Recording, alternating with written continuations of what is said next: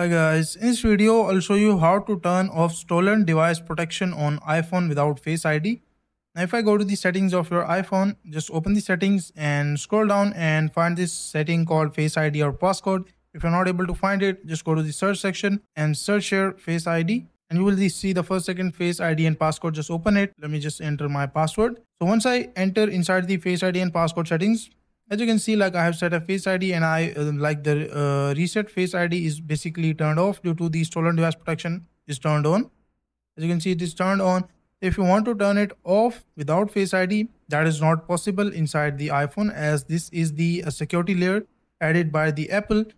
So if you want to break it that is not possible. Be, uh, you can only contact the apple and they might be able to help you somehow. Otherwise that is not possible. You need to uh, use your face id to turn this feature off. As you can see uh, this adds another layer of security to your phone in the event that it is stolen or somehow someone knows your passcode.